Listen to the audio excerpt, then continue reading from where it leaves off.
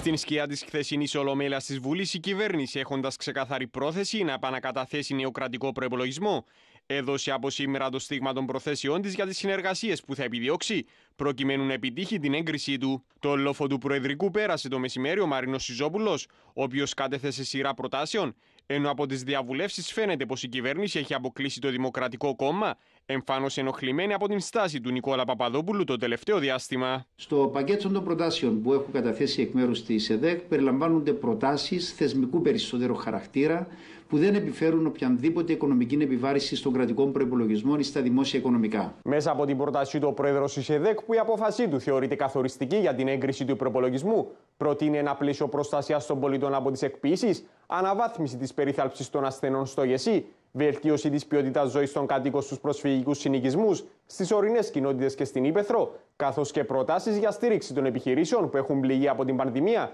και τις εργαζόμενες μητέρες. Εν τω μεταξύ, στο πλαίσιο της προσπάθειας του Πρόεδρου της Δημοκρατίας να πετύχει τη μέγιστη συνένεση, την ερχόμενη Τρίτη θα ακολουθήσει συνάντηση στο Προεδρικό με τον Πρόεδρο της Συμμαχίας Πολιτών Γιώργο Λιλίκα.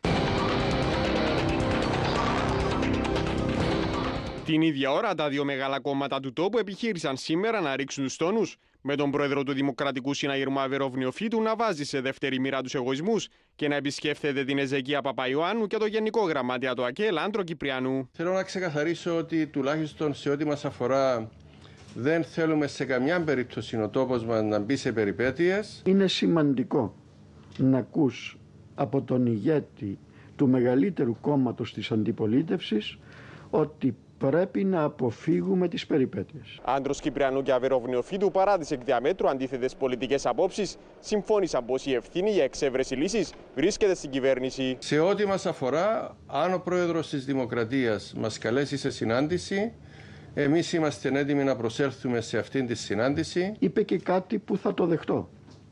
Ότι την ευθύνη για να βρούμε λύση την έχει η κυβέρνηση και ως πρόεδρος του κυβερνώντος κόμματος έχω και εγώ την ευθύνη να συμβάλλω προς αυτή την κατεύθυνση. Με τους δύο ηγέτες να θέτουν ως κορυφαία προτεραιότητα το κυπριακό πρόβλημα, καλώντας τον Νίκο Αναστασιάδη να αποδεχθεί την πιθανή πρόσκληση του Γενικού Γραμματέα του Οργανισμού Ηνωμένων Εθνών για σύγκληση άτυπης πενταμερούς διάσκεψης.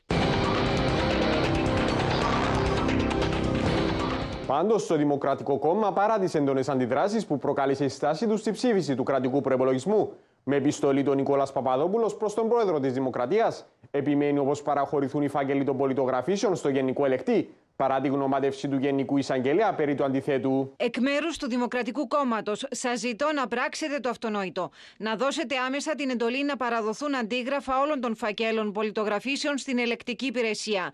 Να μην επιμείνετε στην επιβάρυνση των Κυπρίων πολιτών από μια κρίση που δεν έπρεπε να έχετε προκαλέσει. Δική σας η απόφαση, δική σας και η ευθύνη. Με την κυβέρνηση να απαντά άμεσα, διευκρινίζοντας πως ο πρόεδρος της Δημοκρατίας προτίθεται να απαντήσει εντός της επόμενης εβδομάδας σε όλα τα θέματα που γύρει ο Νικόλας Παπαδόπουλος, εμπεριστατωμένα και με πλήρη τεκμηρίωση.